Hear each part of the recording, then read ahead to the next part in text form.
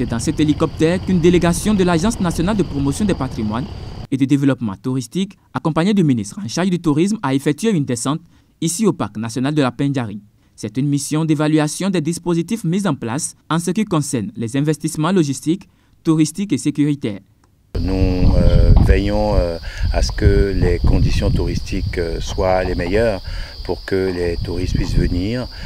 nous avons vécu des moments difficiles ici, mais nous n'avons pas baissé les bras. des mesures ont été prises par les autorités, par le national et par les, rangers pour sécuriser. Nous avons constaté un, un parc vraiment splendide, un parc exceptionnel. Il faut dire que ce que j'ai remarqué euh, me fait dire que le gouvernement a eu raison de confier ce parc à, des professionnels.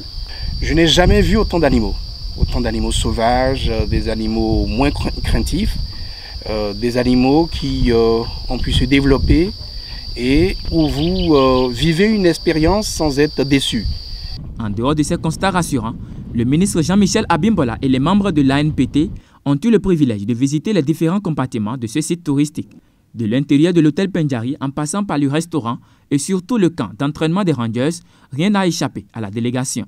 Je dois remarquer également que nous avons eu la possibilité de constater le déploiement des Rangers, euh, qui ont une formation euh, vraiment de militaire. Je ne suis pas un militaire, mais j'ai été impressionné par la discipline, la rigueur, par le sérieux des instructeurs internationaux qui sont ici.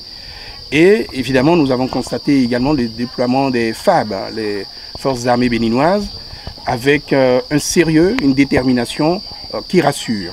Nous sentons un appui constant et régulier du, gouvernement euh, à travers les deux ministres, le ministre du Tourisme, le ministre du cadre de vie et la direction générale de l'ANPT qui sont toujours là pour nous aider à aller de l'avant. Un tour en hélicoptère leur a permis d'apprécier du haut la diversité de la faune de la Pandjari. Quoi de plus beau pour un moment de détente et de plaisir?